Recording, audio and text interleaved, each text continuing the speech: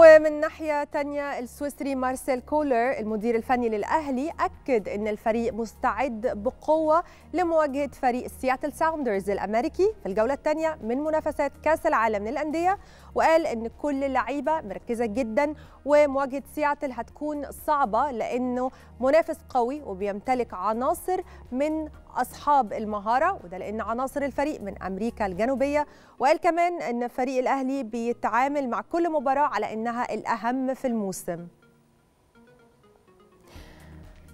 منتخب مصر الأولمبي حقق الفوز على منتخب الجابون بنتيجة 3-0 في المباراة اللي جمعت الفرقتين على استاد الدفاع الجوي في إطار استعدادات المنتخب للقاء زامبيا ذهابا وعودة في الجولة الثالثة المؤهلة لكأس العالم الأفريقية للأمم الأفريقية تحت 23 سنة ودي البطولة المؤهلة لأولمبياد باريس 2024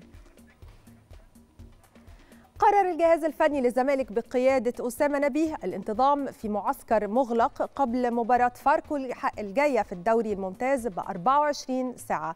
هيسافر فريق الزمالك الإسكندرية بكرة عشان ينتظم في معسكر مغلق استعدادا للمباراة اللي هتتلعب بعد بكرة.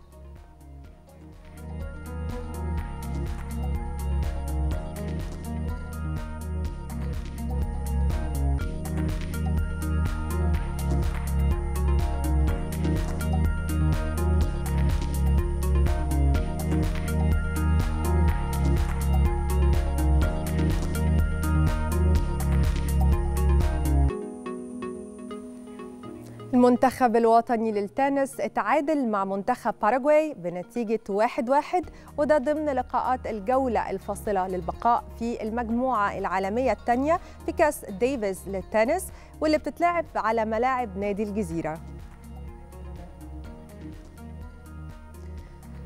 فريق النصر السعودي تعادل مع فريق الفتح بنتيجة 2-2 في المباراة اللي اتلعبت امبارح على ملعب مدينة الأمير عبد الله بن جلوي الرياضية. ده ضمن مباريات الجولة ال 15 من الدوري السعودي للمحترفين.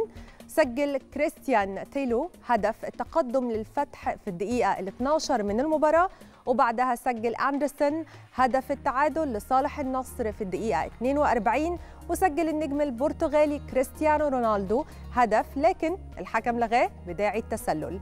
في الشوط الثاني سجل الجزائري سفيان بن دكة هدف رائع لصالح الفتح في الدقيقة 58 من زمن المباراة وسجل النجم كريستي...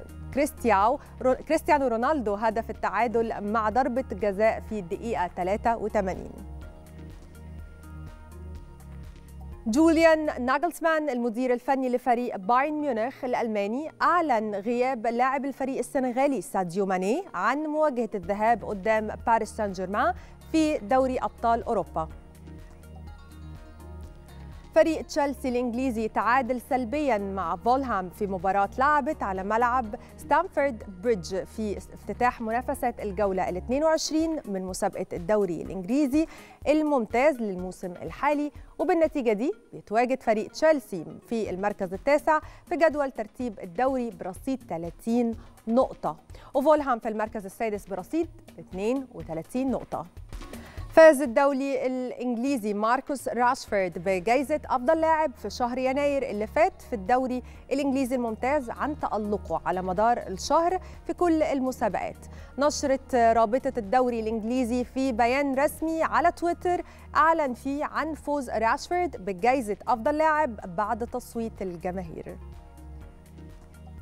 بكده تكون خلصت نشرتنا الرياضية.